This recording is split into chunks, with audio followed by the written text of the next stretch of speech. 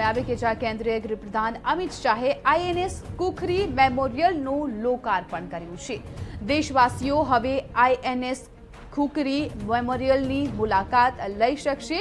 મેમોરિયલની મુલાકાતથી લોકો ભવ્ય વારસાથી પણ માહિતગાર થશે.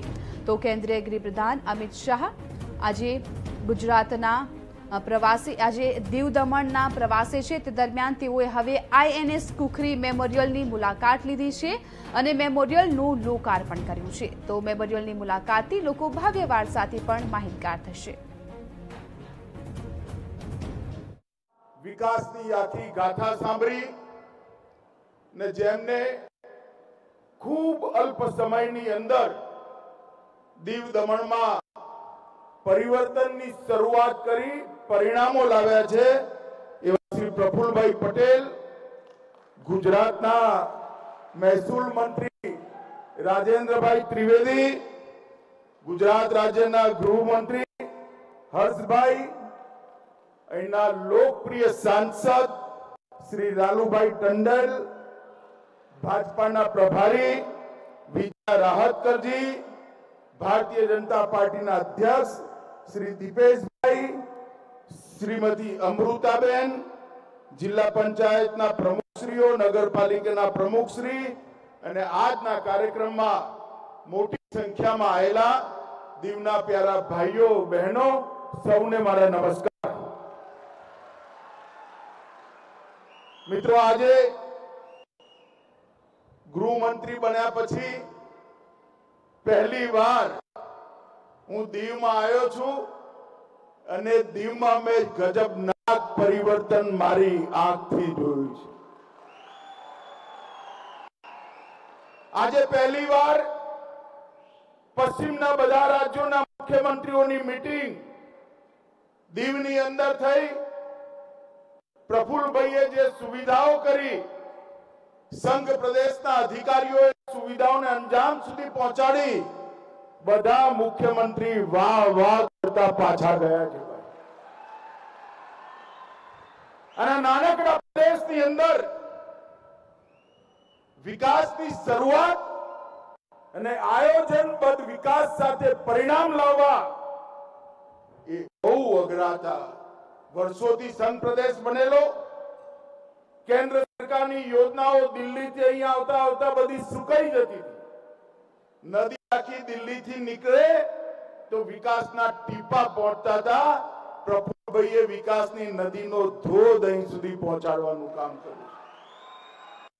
હું પ્રફુલભાઈના નેતૃત્વમાં સમગ્ર દીવ પ્રશાસનની, દાદરા નગર હવેલી પ્રશાસનની ને સિલવાસા, આ બંને હવે એક જ યુટી છે. એ પ્રશાસનને ખૂબ ખૂબ ધન્યવાદ ગૃહ મંત્રાલય તરફથી મિત્રો, દીવ એક પ્રકારથી ટાપુ જેવો પ્રદેશ. આઠ જૂને જ આપણે ઓશન ડે મનાયો. અને ઓશન ડે ના દિવસે ત્રણ વસ્તુઓ પર ભાર મૂક્યો. સમુદ્રી જીવનને લઈને જાગૃતતા પેદા કરવી ટાપુઓને સ્વચ્છ બનાવવા અને સિંગલ યુઝ પ્લાસ્ટિકને ખતમ કરવો સમગ્ર વિશ્વમાં આની ચર્ચા થઈ. પણ દીવની અંદર આ કામ ઓશન ડે ના પહેલા જ પૂરું થઈ ગયું છે. એટલે દીવ પ્રશાસનને ખૂબ ખૂબ અભિનંદન. ભારતમાં એક માત્ર એવો પ્રદેશ છે.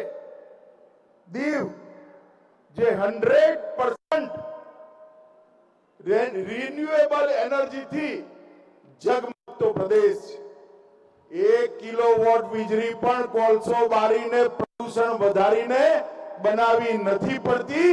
એટલું સુંદર કામ દીવ પ્રદેશે કર્યું છે.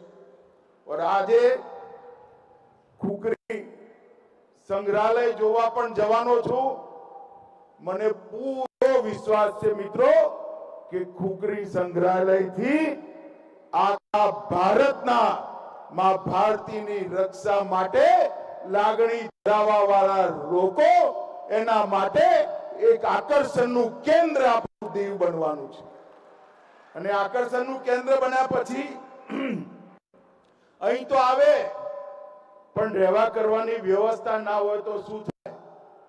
મને તો ખબર નથી, મેં પ્રફુલભાઈને સવારે પૂછ્યું એમને કહ્યું, સાહેબ, અહીં તો હવે તાજ હોટલ પણ આવવાની છે અને વિદેશથી લોકો અહીંયા રહેવા આવે એવી વ્યવસ્થા થવાની મિત્રો, વિઝન વગર વિકાસ શક્ય ન બને. દેશના વડાપ્રધાન નરેન્દ્ર મોદીજીએ દરેક સંઘ પ્રદેશ માટે ભારત સરકારની બધી યોજનાઓ શત પ્રતિશત લક્ષ્ય સિદ્ધ થાય એવું વિઝન રાખ્યું. અને વિઝનને જમીન પર પહોંચાડવાનું કામ દાદરા નગર સેલવાસા અને દીવમાં પ્રફુલભાઈએ કર્યું છે. મિત્રો, આજે હમણાં જ ચાલીસ કરોડની લાગતથી દીવથી ઘોઘલા સુધી કેબલ કારની વિકાસનું લોક, ખાતમુહૂર્ત થયું. સ્માર્ટ સિટી મિશનના આઠ કરોડના કામોનું શરૂઆત થઈ. પાંચ કરોડમાં દીવ કિલ્લાની બહાર સાર્વજનિક પ્લાઝા બનાવવાની શરૂઆત થઈ. પાણી કોઠાનો પુનઃવિકાસ, જેઠીભાઈ બસ ટર્મિનલનો વિકાસ અને દીવના બંને પ્રવેશ બિંદુઓ પર એક ખૂબ સુંદર સૌંદર્યયુક્ત સ્મારક બનાવવાની શરૂઆત થઈ. આ સાત પરિયોજનાઓ લગભગ એસી કરોડના લાગત થવાની છે. અને મિત્રો ખુકરી સ્મારક અહીંયા પર બન્યું છે. એ ભારતની સુરક્ષા માટે પોતાનું બલિદાન આપવા મારા આપ